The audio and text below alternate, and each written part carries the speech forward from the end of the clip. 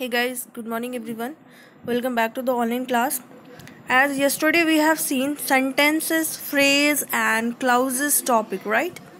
Today also we are going to start a new chapter. That is from your again we are going to start a new chapter from your new grammar book okay? The new grammar book uh, and in which we are going to learn about phrases and in which we will learn kinds of phrases. We'll learn the phrases kind in this chapter okay? In this topic we are going to learn about kinds of phrases. Yesterday we have seen about phrases right? So we'll take a recap of that and then uh, we'll go uh, move ahead with the kinds of phrases. Let's see that.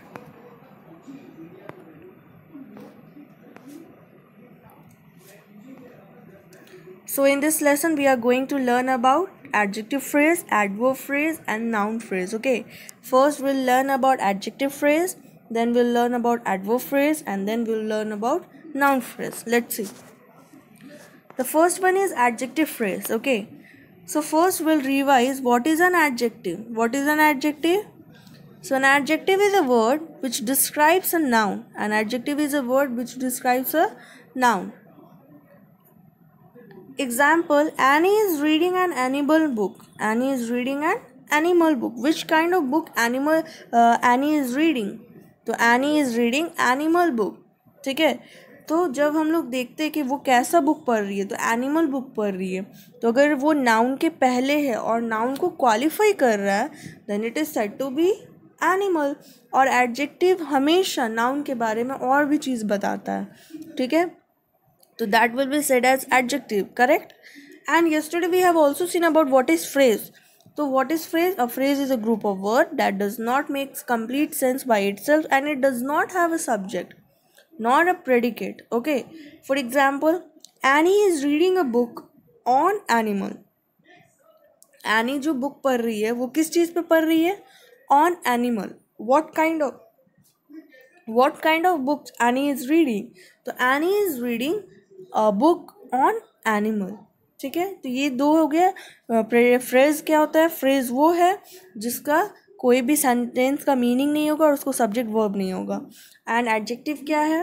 And adjective is a word which qualifies which describe about a noun सब जो, तब adjective और phrase मिलकर क्या बनेगा? Let's see So, adjective and phrase will, when a phrase describe the noun in the sentence, it is called an adjective phrase. अगर किसी sentence में एडजेक्टिव है, वो क्वालिफाई कर रहा है डिस्क्राइब कर रहा है नाउन के बारे में then it is set to be adjective phrase an adjective phrase is a phrase which does not does the work of an adjective in the sentence adjective phrase वो है जो एडजेक्टिव का काम करे, और एडजेक्टिव का काम क्या रहता है? तो नाउन को क्वालिफाई करना। तो जो भी वर्ड नाउन को क्वालिफाई करेगा, और वैसा वो फ्रेज में रहेगा ग्रुप ऑफ़ वर्ड्स में रहेगा then it is set to be adjective phrase For example, we'll see Annie is Annie is reading a book on animal. So what kind of book she is reading? So she is reading a book on animal. ठीक है A polar bear has a coat made of thick fur. What kind of coat a polar bear has? तो a polar bear has a coat that is made of thick fur. अभी देखो adjective वाले phrase में क्या question हम लोग करते हैं? वॉट काइंड ऑफ़ वैसे हम लोग को पता है फ्रेज में क्या क्या होता है? फ्रेज में आ, हम लोग फ्रेज क्या होता है? ग्रुप ऑफ़ वर्ड जिसका कोई आ, उसका कोई मीनिंग नहीं होता सब्जेक्ट नहीं वर्ब नहीं होता ठीक है? और it always ask the question of what where when and how फिर एडजेक्टिव क्या होता है? तो एडजेक्टिव जो डिस्क्राइब करता है नाउन को. तो दोनों मिलके क्या बनते हैं?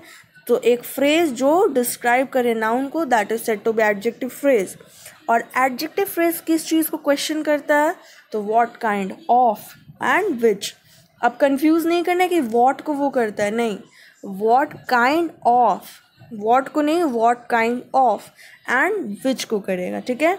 तो phrase is a group of word that makes uh, that does not have a subject does not have a verb and does not makes a complete sense and it asks the question of what when where and how और adjective phrase किस चीज़ का question करता है what kind of and which will be very easy to identify adjective phrase in a very um, in a sentence so because when we will ask a question of what kind of and which then the answer what it will give that will be the adjective phrase let's see more about adjective phrase examples Animals eating only uh, grass and plants are called herbivorous Animals eating only grass and plants are called herbivorous. What kind of animals are called herbivorous? कौन सा type के animal को herbivorous बोला जाता है तो वो animal जो क्या खाता है eating only grass and plant तो what kind of animal are called herbivorous जब उसका आंसर निकलेगा it mean that is adjective phrase और एडजेक्टिव फ्रेज का मतलब वहाँ पे जो दिख रहा है eating only a grass and plants that is a phrase that is adjective phrase as we know that phrase को ना ही सब्जेक्ट uh, होता है ना ही वर्ब और ना ही कोई कंप्लीट सेंस होता है. Second the book on the shelves are for shelves वहाँ पे सेल्फ्स नहीं होगा वो रीडिंग है ठीक है? The book on the shelves are for reading okay wait a minute I show you that is not a shelf वो वहाँ पे रीडिंग है। ठीक है? तो दैट इज़ फॉर रीडिंग तो which book which book she want which book are for reading which book are for reading तो दो, जो बुक है, वो कहाँ रखा हुआ है? On the shelf that is known as adjective phrase, okay? Got it, everyone? Okay? so let's move to the another slide i think adjective phrase is completed uh, you got the answers what this adjective phrase means adjective phrase what kind को answer करेगा और विच को करेगा ठीक है what kind of things what kind are called ऐसा और विच को which books are for reading which ऐसा कुछ रहेगा अगर क्वेश्चन विच को कंप्लीट करेगा then it is set to be adjective phrase let's move to another types of phrase that is Okay before going on adverb uh, we are uh, another thing is also here. Ending in I N G is called a present participle correct हम लोगों ने last time में भी पढ़ा था कि जो word जी से एंड होगा उसको प्रेजेंट hmm, पार्टिसिपल बोलेंगे। And may be use as adjective phrase और उसको एडजेक्टिव फ्रेज में भी यूज़ कर सकते जैसे हम लोगों ने देखा अभी eating only grass and plants तो eating only grass and plants उसको हम लोग ईटिंग को क्या बोलेंगे? प्रेजेंट पार्टिसिपल बोलेंगे ना? तो उसको हम लोग पार्टिसिपल फ्रेज भी बोलते हैं। ठीक है?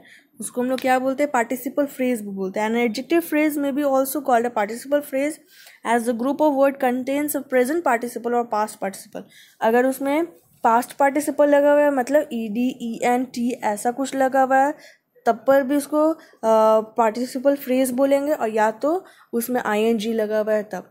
लेकिन मैंने लास्ट टाइम भी बताया था प्रेजेंट पार्टिसिपल और पास्ट पार्टिसिपल का वार्निंग क्या होता है। अगर आई एन जी का कोई भी form of the verb is use with the helping verbs like is are am was were ठीक है, ऐसा कुछ है तो वो पार्टिसिपल नहीं होगा। सिमिलरली ई डी वाला जितना है, अगर वो हेल्पिंग वर्ब के साथ है लाइक हैज़ हैव हैड है ना तो ऐसा अगर है तो वो कभी भी पार्टिसिपल नहीं होगा। पार्टिसिपल कब होगा? जब वो विदाउट हेल्पिंग वर्ब में होगा। और हेल्पिंग वर्ब क्या क्या होते हैं? Is are am was were will ये सारे क्या है हेल्पिंग वर्ब है इसके अलावा अगर प्रेजेंट पार्टिसिपल और पार्ट पार्टिसिपल यूज़ किया हुआ है, इन, इनको छोड़कर then it is set to be participles okay now let's see another phrase that is adverb phrase. So uh, before going on adverb phrase, we'll revise what is an adverb. What is an adverb? तो an adverb are words that tells more about verbs. Adverb phrase वो होते हैं जो verb के बारे में बहुत कुछ बोलते हैं ठीक है they tell us how when और where the action of the verb take place और एडवर्ब हमेशा how when and where how when and where adverb हमेशा क्वेश्चन क्या करता है हाउ व्हेन एंड वेयर याद रखना ये चीज़। Now see flat talked hurriedly तो फ्लैग ने कैसे टॉक किया? हाउ हाउ फ्लैट टॉक्ड तो फ्लैट टॉक्ड हरीडली तो ये हरीडली क्या हो गया? एडवर्ब ठीक है? अब फ्रेज तो आप लोग जानते ही हो no need to explain it more तो फॉर दैट एल से दैट फ्रेज को ना ही कंप्लीट uh, सेंस होता है ना ही सब्जेक्ट ना ही वर्ब और it always ask the question of what where when and how ठीक है? तो एडवर्ब फ्रेज में हम लोग क्या क्वेश्चन करते हैं? एडवर्ब में how when and where phrase में क्या करते हैं? What where when and how अब ये दोनों मिलके जब एडवर्ब फ्रेज होगा तो वो क्या क्वेश्चन करेगा? Let's see so an adverb phrase when a phrase tells us something more about the action word मतलब वर्ब वो वर्ब के लिए बोलेगा कोई भी phrase then it is set to be adverb phrase a phrase which does the work of an adverb in a sentence is known as an adverb phrase वहाँ phrase छूट गया ठीक है? तो जब भी, वो कभी भी फ्रेज पूछा जाता है, लग मीन्स अगर वो एडवर्ब जैसा काम करेगा एडवर्ब का काम क्या होता है? वो वर्ब को क्वालिफाई करेगा, ठीक है? अगर कोई एडवर्ब वर्ब को क्वालिफाई कर रहा है, और वो ग्रुप ऑफ़ वर्ड्स है that is set to be adverb phrase okay जो फ्रेज एडवर्ब का काम करेगा that is set to be adverb phrase जैसे Flake won the first prize in the running race the Flake won the first prize where where का answer क्या होगा? In the running race answer निकल रहा है ना? Yes the prize distribution ceremony will be held in the evening the prize distribution ceremony will held when when का question आ रहा है? Then it is set to be in the evening ठीक है? The sports captain congratulated flag by shaking hands how congratulated तो by shaking hands अब आप confuse कर जाओगे कि फ्रेज़ में भी तो यही होता है। तो ये आप भूलो नहीं कि ये फ्रेज़ ही हैं। बस सबका अलग अलग नाम दिया हुआ है कि कोई एडजेक्टिव है, कोई एडवर्ब है, कोई नाउन है। एडजेक्टिव वाला एडजेक्टिव को जैसा काम करेगा एडजेक्टिव का काम क्या होता है? तो नाउन को क्वालिफाई करना। अभी एडवर्ब फ्रेज क्या होगा? वो एडवर्ब जैसा काम करेगा, तब उसको एडवर्ब फ्रेज बोलेंगे। तब एडवर्ब क्या काम करता है? तो वो एक्शन वर्ड के बारे में कुछ ज़्यादा बोलता है। और दोनों का क्वेश्चन आपको पता हो गया होगा कि एडजेक्टिव फ्रेज में क्या होता है। तो एडजेक्टिव फ्रेज में क्या क्वेश्चन करता है? लेट्स सी तो एडजेक्टिव फ्रेज में क्वेश्चन किया था what kind of and which adjective phrase का। और एडवर्ब फ्रेज का क्या है? क्वेश्चन तो एडवर्ब फ्रेज का क्वेश्चन किया हुआ है where when and how where when and how ठीक है? Where when and how let's see आप लोग देख ही लियो इसका।